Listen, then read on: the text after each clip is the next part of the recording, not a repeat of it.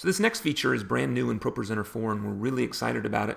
And it solves this need or desire to have a means of messaging or sending information to the people that are actually on the stage, whether it be a choir or a worship leader or a speaker, without inter- interfering with the experience that your audience is seeing. And so this function is called our stage display function. And we can access and see how the stage display works by going under the preferences menu under I'm sorry the preferences option under ProPresenter and I'm just going to hit configure uh, our stage display.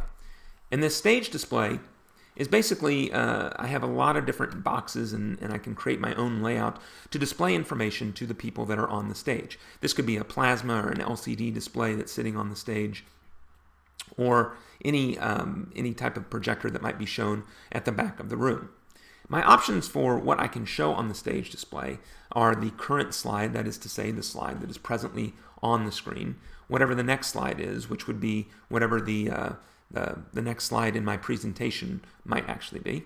Uh, the current slide notes, I can actually add notes to any individual slide within ProPresenter, within the editor, and so this allows me to say something like, uh, at the end of the song, please um, prompt a meet and greet or something like that. Next slide notes. Um, a message. This is a stage display announcement that I might want to send to the person that's on the stage.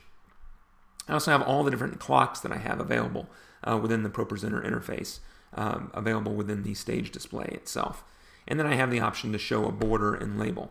And so my configuration of this actually happens on the operator display, and the, the manipulations that I make to the layout of this stage display will be made live to the operator display. Now, you can output uh, this stage display function um, through any kind of video hardware device that is accessible by the computer. So typically you would have your main DVI or VGA output um, sent to your projectors or to your video switcher this would be a secondary video output device for which you can use any kind of uh, USB to DVI or VGA adapter uh, for which we actually sell one on our store for under $100. So it's a great, inexpensive way to add this additional functionality to ProPresenter. So just the default layout has my current slide sitting here, my next slide sitting here, and I can move these around however I want to resize them however I want to. And right now I'm actually just showing a small version or a preview of what the actual uh, slide looks like. I have a time elapsed clock that grows as I grow this box, the current time. So you can lay this out however you want to.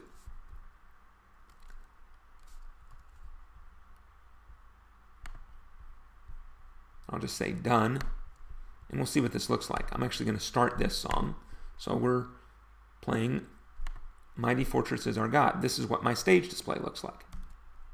So I have the first slide here, and it doesn't show any kind of video background or anything like that. It's merely the, the slide elements. And then this is what my next slide looks like. And as I use the arrow keys to go through the song, you see that these slides are changing. I have my clock up here, uh, time elapsed, or any countdown clocks that I might want to show are also available. But oftentimes what I want to do um, if I'm doing a lot of styling for the text that's actually on the slide, I want to make this as easy as possible for the people that are on the stage to read it. And so we have this wonderful option that allows me to just to, to just display the text of the given slide. So when I turn on this text only option, I can specify a size. So for this, I'll make it 100 points. And this is going to be the maximum size that this text will display at. I can do the same thing for the message. So I'll say 100 points here. So now that I'm done, this is what my stage display looks like. So this text is very large and readable. It's just white text on a black background. Um, really pops out of that, that stage display. And then I was mentioning this stage message announcement function. This is actually available under my action, or I'm sorry, my view menu. I can say stage display message, and I'll say, please move to center of the rows room. And when I say send note, this is what my stage display shows. It flashes green and then shows this message in this box.